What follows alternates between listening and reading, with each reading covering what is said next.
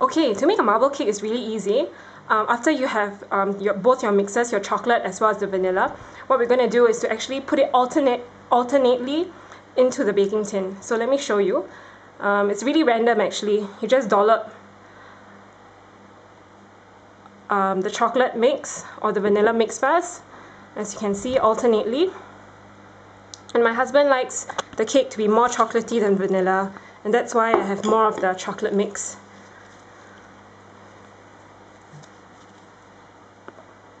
Well, the idea is just to fill up the entire baking tin with the two colors of flour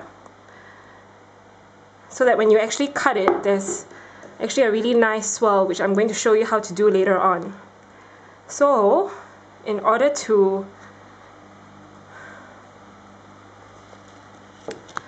make the cake, we just have to keep alternating the different kinds of, the different colors. And as you can see, I'm running out of the vanilla, and that's okay. It depends how you want your marble cake to turn out, more chocolatey or more vanilla-ish. Now if you look at the most marble cake recipes, you would find out that many of the recipes usually call for just enough cocoa powder to turn the flour brown like this, chocolate brown. But my husband likes it really, really chocolatey. And therefore I added a double dose of cocoa powder. And it doesn't usually change the flour consistency too much which is okay. Alright so I'm just going to leave that last dollop there. Um, putting this here. And as you can see it's not perfect because I've got a little bit of a mix over there. But that's okay and I'm going to put this last dollop of vanilla flour here. My hands are clean by the way. So this is what you do when you don't have two spatulas. Now this spatula I brought all the way from Singapore and I just haven't got the chance to get another spatula here in Africa. But this has served me really well.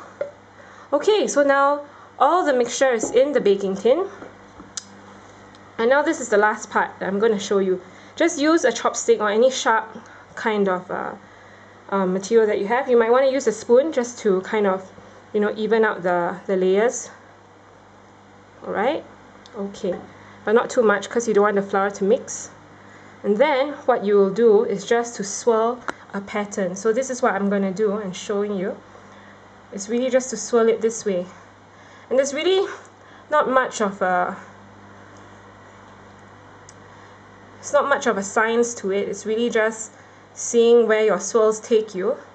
And they may not all be perfect like the way you imagine them to be but they can be pretty good. If you just follow where the chocolate swirls take you. Um, I'm just going to make another swirl here. And because you know all the the two different kinds of flour are kind of mixed alternately below um, the swirls are going to come out quite nicely inside as well. So when you cut the cake open later on you will see that you will see that the swirls go inside as well.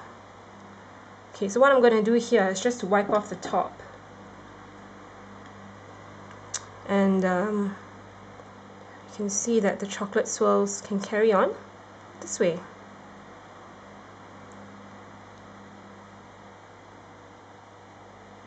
See if you want a little bit more of a chocolate swirl all you need to do is just go back to the chocolatey bits and just kind of draw it out this way.